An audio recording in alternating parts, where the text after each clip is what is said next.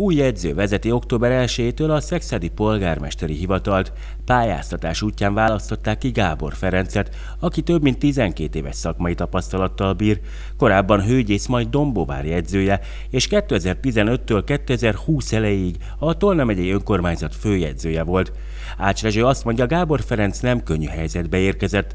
A polgármester ezt azzal magyarázza, hogy jelenleg több projekt áll a városban, és emiatt támogatásoktól esik el az önkormányzat.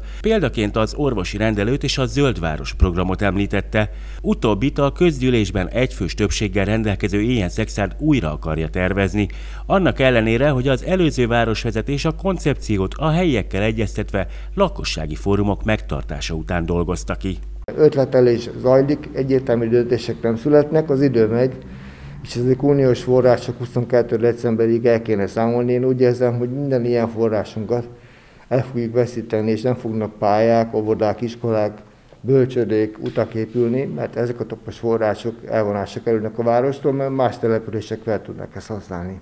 A hétértékelőn Ács Rezső arról is beszélt, hogy Malomsoki Krisztián, a Szexádi Sportközpont ügyvezető igazgatója hetekig nem válaszolt arra a levélre, amiben az idei strand látogatottsági adatait kérte be tőle.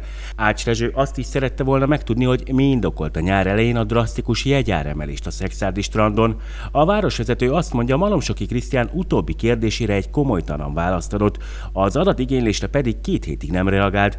Első körben azt írta, hogy vizsgálja Ács Rezső kérésének teljesítését, teljesíthetőségét, majd a második levélben annyit közölt, hogy idén fele annyi vendég érkezett a Szexárdi strandra, mint tavaly.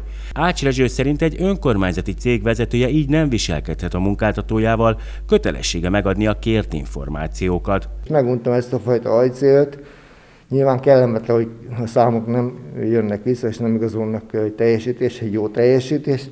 Ezért nehéz ezt számukra megválaszolni, és ezért húzzák az időt de én azt gondolom, hogy ezek olyan nyilvános számok, amik mindenkinek tudnia kell, és ezért én úgy gondolom, hogy valakinek a felelősséget viselnie kell, és azért kezdeményeztem a közülés felé a fegyelmi jeles megindítását. Ács Rezső hozzátette, a Malomsoki Krisztián által átküldött anyagokból nem derül ki, hogy a látogatók közül mennyi volt szexárdi, ahogy az sem, mennyi bevételt ért el idén a szexárdi strand.